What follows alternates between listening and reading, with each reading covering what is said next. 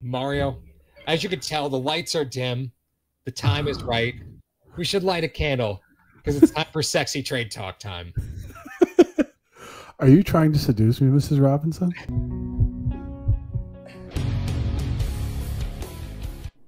Hello, fellow Bills fans. Sean Rogers, Realtor and lead of the Mr. Rogers Homes team. Did you know that real estate is one of the best ways to build wealth? And right now is one of the best times to own an investment property in Arizona? Please reach out to me. I'd be more than happy to answer any of your questions so we can take the next step to your financial freedom here in the Valley of the Sun utilizing real estate. As always, God bless America and go Buffalo! I think the more concerning fact for the people watching right now is why aren't we in a vehicle driving at ridiculous, ludicrous speeds? Ludicrous speed. Ludicrous speed. Go. yeah, you know, it's life comes at you fast. Uh, that's why we're.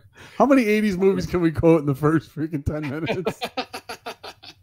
so, Mar, I want to talk about you know, 'cause even though the Bills, you know, the Bills at this point, two losses on the season. You lost to Pittsburgh, lost to Tennessee. Uh, Yes. Hurts, right? Both AFC teams, both possible playoff teams, right? So, the lessons that you learned from that game, because you got a little bit of a, you know, a little bit of a, the the tide is calming, right? Your next three out of the four games are are not as daunting. Trade Yes. deadlines come up November second. So when you start looking at what is out there, uh, Buffalo is in the trade market. Don't think that they're not, right? If you can improve Oh. your football team, you're going to improve your football team. Oh yeah, Beane's always a mover and a shaker. He's always looking for the next guy to bring into his uh, program. Um, obviously, to see if they can compete, because that's when you see the best, um, the best production out of the Buffalo Bills is when they have that cutthroat for every position. Mhm. You know, that's what happens. But uh, you know, Paul, it's it's weird because we have. I mean, Paul and I will disagree on many many uh, discussions. You know, in the trade deadline, I don't know if the Bills will be very huge players at the trade deadline, both because of their cap situation and for simple fact is you you built this team up into the point where it is right now. That I mean, we're going to examine some players and some positions that probably could be helped right now, Mhm. but you don't you want to have something sustainable without without being like the Philadelphia Eagles. Yeah. Like that one and done Super Bowl and then they fell into, you know, just chaos. So Yeah. Well, I think it's it's a fine balance, right? So you're going to acquire players that you don't necessarily even need to start for you, right? So when I talk about the Bills being players at the trade deadline, I'm not talking about going out and getting starters. I'm talking about going out and reinforcing positions that you know you're one injury away from being in some real big trouble. Um, so I've got three uh, three players, one at each position. Mark, you're going to defend the roster as it stands, aren't you? I am defending the roster, the current players, because of the continuity that's going on with the Buffalo Bills right now, and I don't think there's any reason to hit like hit a huge panic button right now at the trade deadline. Even though it is coming around the corner, it is November second, so Yeah. there could be. I, I think that there's probably going to be more players leaving the Bills than will be added to the Bills, but that's Okay. a discussion for a little bit later in the show. Okay, it's all right. Well, let's uh, um, then let's get to it. Um, why why don't we start with a name that I think was floating around a lot during the offseason? Um, I look at one of the positions the Bills need, corner. Like I just, the more and more we see this, the more and more I think we're just one injury away from really being in trouble. I understand Siran Neal is technically a corner, but I think we're all happier with him when he just gets to go smash, right? Like I think, we're, I think we're all just happier there. Um, so to me, if I'm looking at the the cornerback market, and there's not much of one, um, Steven Nelson, um, he plays for Philly right now. Signed a Speaking of Philly, Speaking of Philly, exactly. Well, that's what I mean. Philly's got to look at pulling the pulling the you know pulling the ripcord here. You know they're sitting at second last in their division. They've scored the ninth most points in their division, which is just not it's just not going to win you football games. Um, and they're in the basement of their own division, and they've only got two wins. And guess what? Washington has two wins, and they're in second. Like if Philly loses this weekend, you pull the ripcord, right? You start shopping deals. Hmm. You start trying to make your next year better. Um, because I don't think they're sold on Jalen Hurts at quarterback. I definitely don't think they have a plan at wide receiver. They need assets, right? Steven Yeah. Nelson on a one year deal, um, a little bit of a lighter guy, right? But Yeah. Mark, correct me if I'm wrong here. Isn't that what Buffalo seems to prefer in that second cornerback spot somebody a little lighter, somebody like haven't we that seen can, that can run with the speed guys. Like you need a guy that can run with the speed guys, but more often than not, the Bills are playing in a very they're playing in a zone coverage scheme. So you don't need a guy like Revis over there or just a man shutdown corner. Right. Which is probably one of the reasons you haven't seen Dane Jackson too much on the roster because he is a heck of a man corner. Mhm. He's not. He's, he still has to learn the fundamentals and, and the breakdowns of the, being a zone corner. And I think Levi just has the experience over him as far as the current roster goes. But bringing in a guy like Nelson, uh, who has played nearly 100% of the snaps, like you said, he's, he's about 5'10, about, about just a little shade under 200 pounds. Um, different kind of system, you know, very different kind of system. So, uh, are you doing a lot of this? Are you saying a lot of this because the next three opponents for the Buffalo Bills are Miami, the Jets, and the Jags? So anyone who comes into this roster can have their own little preseason for the next three Oh, no, games. man. It's it's a nice time for the trade deadline. I'm just saying, it's like it's It is nice. placed, right? It is nice. You know, they have some. yeah, if you're going to go get somebody, what better gift can you give them than here are two games where you can play some snaps and, Yeah. and you do not need to worry about making mistakes. Now, just for you know the new viewers that come over to hashtag, they start to see our stuff for the first time. Paul, a lot of the stuff that Paul and I root a lot of our thought process on is you know connections in the league, and you know being able to fit with the with the squad that's currently there. Mhm. Uh, Nelson could fit. I'm not gonna say he can't fit. He could fit with the Buffalo Bills. That's one point. The second point is obviously McDermott has familiarity with the Eagles organization, so it'd be easy to make that phone call. Mhm. The third thing is the Eagles have already been players already in the trade market sending Ertz to the Cardinals. Mhm. So you know that they're willing, or they even they're aware of the points that Paul brought up earlier in the show and the fact that you lose one more game, you're going to be shopping for a quarterback next year in the top 5 Mhm. So that being said, I don't know if they will. That's a discussion for another day. That's a discussion for a Philly show. This is a Buffalo Bills show here. But the point is, uh, I could see where you're coming at trying to do that. And in, in, in, in keep in mind too, the Bills because of their cap situation and because of a lot of things that they have going on, you're not bringing in a huge name guy. No. You're not going to bring in a huge guy that's an all pro. You're bringing in a guy basically for depth reasons because you do have a lot of depth on this team currently. Mhm. Paul had mentioned Siran Neal. I like to see what Dane Jackson has more of in the tank, but I- believe Nelson's on the last year of his deal too, isn't he? Yep. He signed a one Okay. year. Yeah, Okay, and one- that that was the second part that I was getting to about w- when these guys get shopped, you know, and how much they get shopped for is contingent upon how many years they have left on their deal. If they're a one year rental, you're not going to get any more than like a fifth or a sixth for these guys. Or if it's a player for player, if you're swapping in, if I don't know, I'm just saying it. If if Philly needs defensive line help in that division where you got Antonio Gibson, Ezekiel Elliott, and Saquon Barkley, you have to start stop the run there. You're gonna have to stop the run in that division. You might try to get some interior defensive linemen. Mhm. So I Right. mean, I wouldn't, I wouldn't, you know, knock the idea, but I think with Levi Wallace currently, he's on, he's on his last year of his deal. He's going to be playing out of his mind coming up soon. I think you have Dane Jackson and Siran Neal. I think you have enough depth at the at the cornerback position and in the scheme that you play that you could get a corner, but I don't think it's a, a very high probability that they do get one. Paul, right. now, sell me on your take of why they go out and get a corner. Well, I think, you know, I understand that Buffalo carries two corners on their practice squad for a reason, right? To me, Yes. I don't think there's a bigger sign that, okay, we think we might have some problems here than carrying multiple positional players on your practice squad. Yeah, You know, Yeah. like it's just, it, it's just a sign to me like, okay, we, we know we need some reinforcement here. And like Buffalo did this last year. Remember, right before the playoffs, they used their veteran practice squad spots for Devonta Freeman and Kenny Stills and Darron Lee. Like they were not shy going to get veteran players. The difference Mhm. was they were able to acquire those guys off the free agent market, right?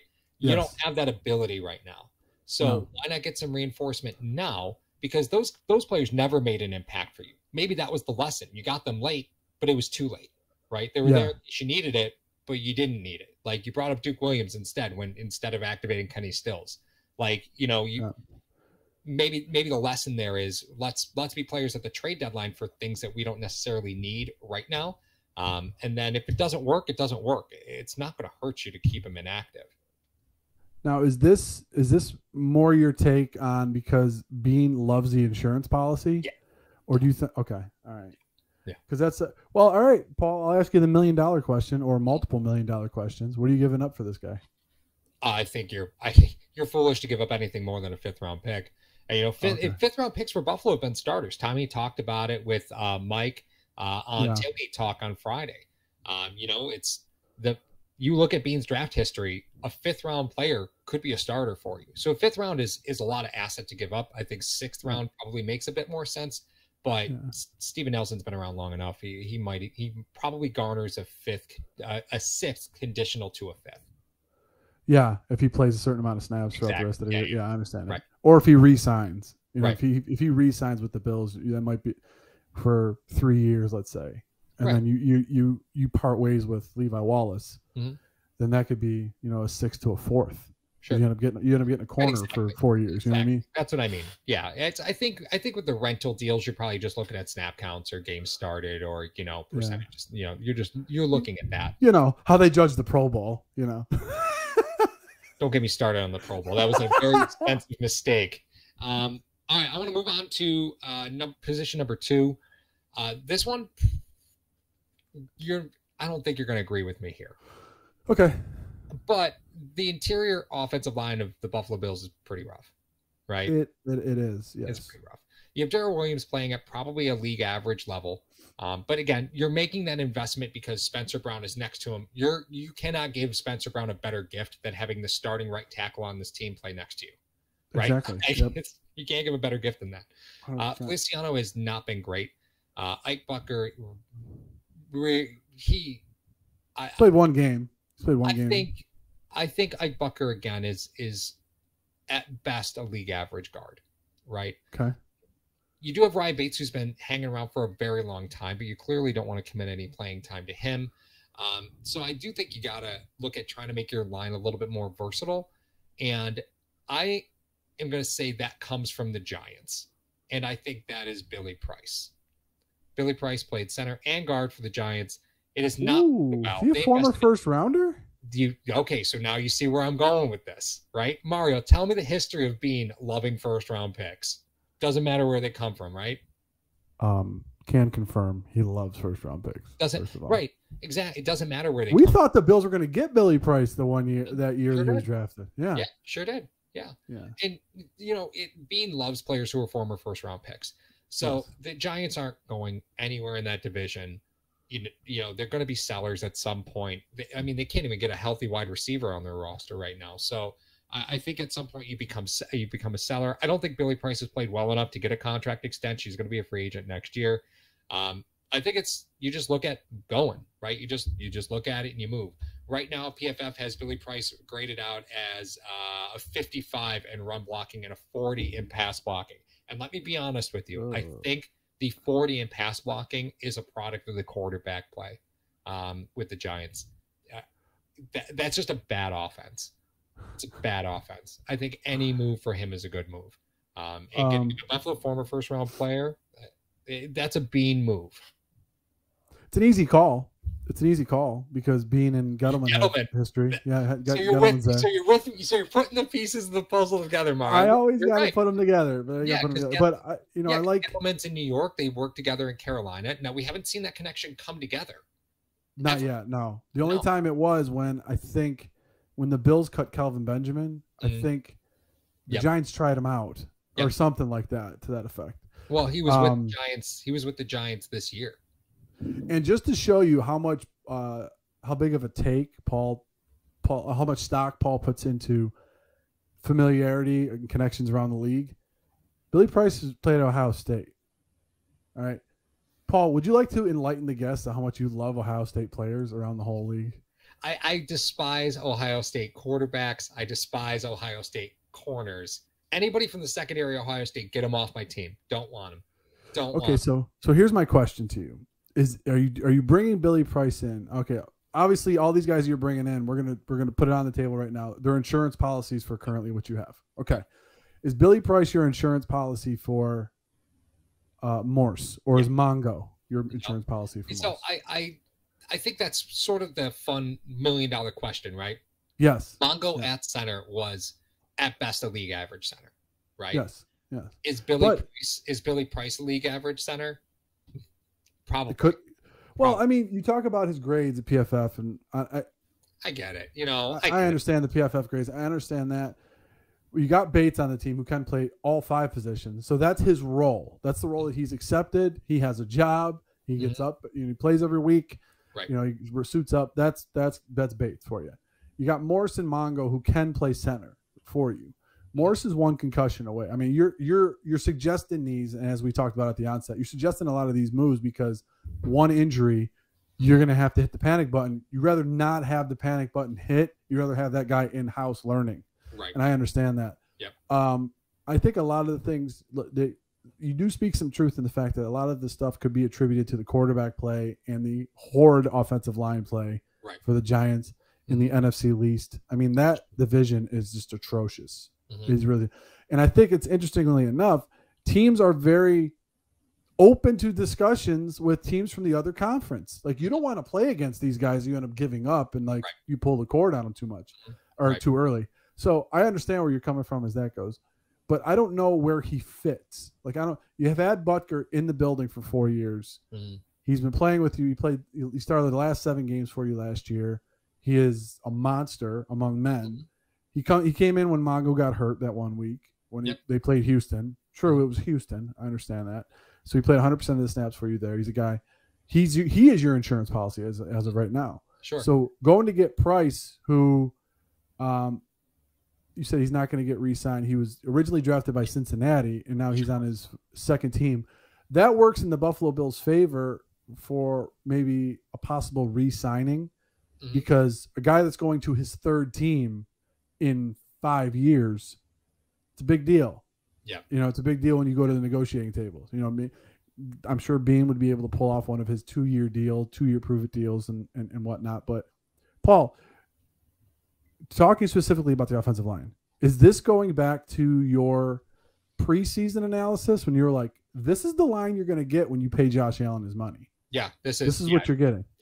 And that's what I think Billy Price does. Now, Billy Price, you know, his rookie season graded out very well, but the last two seasons in Cincinnati would be 2018, 2019.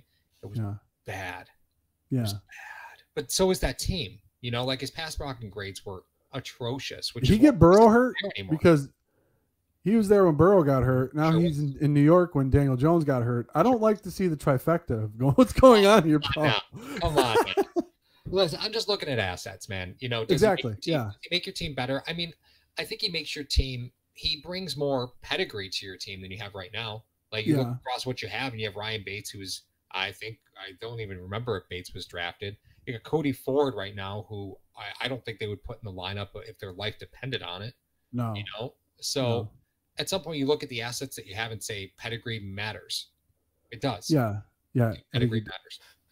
I think it does. Uh, he's he's currently started five games. He's 27, so he's still a young asset that you can you can play around with. Boettger's also 27, so you, they have the parallels there. Both unrestricted Um, free agents coming up. How much stock? uh, We know how much Beane puts in it, but how much stock do you put in former first rounders? Because a lot of those guys have been busts. it matters. It's Mar. I think you. I think you can agree with me here. High level athletes. This team bets on high level athletes. Well, let I me think let me Buffalo, it's different. It yeah, that's what I was that's what I was trying to get to is the fact that with Nelson and now with Price, they're not the normal typical freak athletes that you just got to coach up. Mhm. Right. So, do you think that they have that division, that line in the sand for their players? Like, okay, these guys are freak athletes in the first and second rounds, and then these guys over here are the guys that we're gonna have to try to develop in our program. Mhm. It, Price seems like he's on that line. Mhm. He's a six four center, who, who you know, the dude could play. Mhm. So. Uh, well, I- I'm I'm gonna be on that fence, but I'm gonna stay steadfast against you, Paul. I don't know. I don't know if Price, if that's a guy, you may have to pay the price when he comes in. So I don't know how much money the Bills will have. Ooh. Ooh. Ooh. I, Rabbit out of a hat, ladies and gentlemen. Rabbit out of a hat. I just that offensive line is just troubling to me. And I get if you, if Mongo gets hurt, um, you you you can absorb that loss. I think Daryl Williams gets hurt. That's a that's a big one, right? Yeah, yeah. Or you or you or you, you flip Mongo back over to the right side and you put Boettger at, Boettger. le- at left Yeah. where he And was. Either, so and either way, Cody Ford's not in the equation.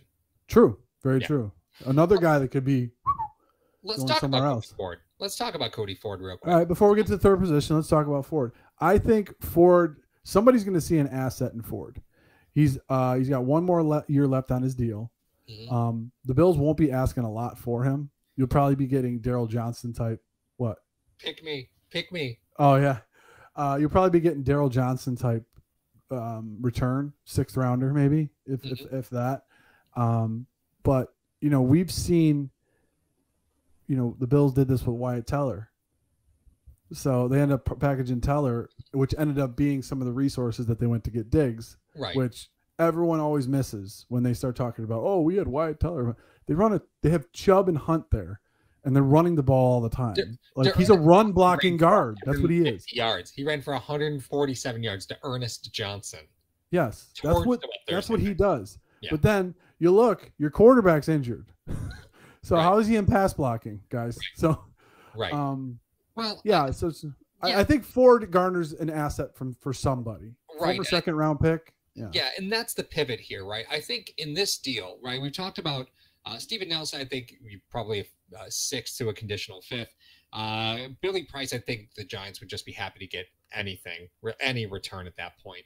Um, I think Kamu Grugier-Hill, the linebacker from Houston, uh, you trade Cody Ford to Houston. I think they're pretty happy with that because who's in Houston? Ooh. Who's in Houston? Uh David Culley. David Culley's in Houston. That's right. Connection once again. Here we go. Right. And that offensive line is piss poor. Piss poor. I think they will be happy to take a reclamation project on a linebacker that, you know, the truth of the matter is Houston is is an awful football team right now. Uh Kamu Grugier-Hill's in the last year of his deal. He's grading out about a 63 in coverage for a linebacker that's actually pretty good. So he gives you a nice coverage linebacker. And Well, he's on the field enough. you're not looking you're not looking at him to start. You don't need him to start. No, You, just- you no. need him in there to go and and play when he absolutely has to. Milano came back from injury and played 100% of his snaps because you couldn't afford to give up uh, you know, the what he brings. Kamu Grugier-Hill's pretty quick, you know. So uh, like there's a big difference between the speed of Matt Milano and the speed of AJ Klein. There's a big drop off there. Um, so I think you got to cover that a little bit in Comer Well, Kruger you got you got you got Dodson, number one. You got Dodson there. yeah, I mean, he, he just could- never plays though, Mar. How many snaps has he played so He hasn't needed to. He's your insurance policy. So you want an insurance policy for the insurance policy. They've been beating the piss out of half the teams they've played. What do you mean? But Paul, come on. Let's think about this for a second. We've went down this road. I've had this discussion with you already Yeah, about a linebacker from Houston that the Bills got who was a tackling machine all over the field. The Bills cut him and, and he was done. Mhm. So you want the NutraSweet version of that linebacker now to come Yeah. in at the trade deadline. Bring me. Do you have a hyphen in your name? Come to Buffalo. what is with you and the hyphen? I just think it's funny because it looks stupid on jersey. I can't wait to buy you a jersey and put a hyphenated name on it just for the heck of it. uh, yeah, I understand. I understand that, I, but I mean, there is a huge drop off. You're tr- to go back to your point. There's a huge drop off between Milano and, and Klein. Yeah. Klein is going to have one more year on his deal, so your insurance policy is going to be up there. I understand that. Dodson, I think he has one more year left. If he doesn't, he's just on a one year. Mhm. Uh, you still got Andre Smith waiting in the wings if you wanted to go that route, but I don't know. Andre Smith pissed me the hell off after getting that touchdown call back on that kickoff. Oh my God! That, Right the let's off. not. We can't go into the holding calls because Henry had like eight on his. So, um, no, but I understand. But the the crux of this argument and, and the topic that we've we started with tonight or today is the fact this Paul, you go you go down one corner, you're going to be in trouble. You go down one guard, you're in a lot of trouble. You go down one linebacker, and the reason is this: you effectively may have to change your defensive and or offensive philosophy if you lose a guy at those positions. Mhm. Think about this. You bring in Klein from Milano, you're not covering tight ends with with Klein. Mhm. Otherwise, if the other team sees that, they're going to expose that the, the entire game, Right. and then Yeah. you're going to have to try to oh, cover for that. You know, Paul, you you've know you've been an athlete. Do you ever get you ever hurt like one of your legs? You try to overcompensate by putting more weight on the other one, Oh, so you absolutely. don't hurt Yeah. it more, and then you end up hurting that leg. Yeah, So- soft tissue injuries are the death. Uh, or that's week 14 killer. Or soft tissue. Oh injuries. yeah. Well, what I'm saying is the defense itself. Like if Milano goes down and you don't have a viable, you know, guy to stick in there, mm-hmm. you're going to lean on too much of this defense. That's just Yeah. going to get broken. Yep. Um, which happened last year. So I understand that. I like the depth that you currently have. I mean, Dodson is kind of cut from that same mold of Milano. He's a smaller linebacker that can go in there. Mm-hmm. I love Siran Neal there. I know you do. Um, I know you I, do. I, I just lo- he's just a hammer. And and here's the thing, the Buffalo Bills have already explored a contingency plan for Milano before when they used Poyer. Yeah. Could they do it again? Yes. Is it good in the long run? No, because at the end of that year when Milano was hurt, Poyer was gassed. Yeah. But the one thing you didn't have that you do have this year is you got Hamlin and Johnson back there. You didn't mm. have that the year when Milano down, went down before. So if you wanted to kind of stick Poyer in that 20 snaps a game for Milano to kind of cover up certain things if Milano goes down, you could put Hamlin or uh, or Johnson back there and Sure. they can still do the job. I. I feel they can. You know what I mean? They're not they're unproven still, but I feel they can do the job. Hamlin's been impressive to me. You He has. he has been. He's been impressive. Um, so once such a good again, with corners, they do such a good job with secondary guys in Buffalo. They really do. They, they, do do- uh, good job. it's Frazier and McDermott. I mean, if they I don't, something's wrong. I know, right? But then it tilts the scale because we talked about this before. If you don't succeed as a corner in Buffalo, who can work with you? Yeah, it's not. It's not going anywhere for you. That's No, it. It's not going to go anywhere for you. No. Right. Which is probably why Wallace wanted to sign for whatever last year. Because if he got let go, Wouldn't you want to be on a team like your value goes up the more times you return to the AFC Championship game, right? Oh, Like, absolutely. your value just keeps going up. So Absolutely. it's you have winning culture. You make a lot more money when you're seen as having winning culture. You can bring that to an organization. I don't blame. Cor- Corey Graham extended his career like three years because he was on championship teams. That's it. Hey, listen, the money begets money, man. That's it. Hey. I picked off Manning twice. Sign me. well, Mar, I think I think that kind of wraps up this episode, right? So, um, where, if we're looking at the grand scheme of things, I, all that being said, right? Do you think the Bills do anything at the trade deadline? Just, just Do If they they do do it, it, it won't it won't move the needle for me. Just Yeah. like you said, first of all, Yeah. due to the cap situation, due to the current roster, due to current thing, you you want to keep the continuity without shaking up the boat too much. Um, I understand. that. Could they make moves? They could make some moves, and, and it's going to be once again, as we said it many times here on the show, it's going to be like that scene in Major League where you're like Mitchell Friedman, Willie Yeah. Hayes, like who Right, the hell exactly. are these guys? exactly. You know, and you can see and you see all the keyboard warriors are going to go and look up their stats and say, "Oh, well, this guy had that." Okay, all right, awesome. But the point is this: here's what here's what I want to say is I think they may make a move. I don't think it's going to be a be, move the needle, Mhm. But I'm more interested at the players that the Buffalo Bills may be parting ways with at the trade ah, deadline. I like that idea.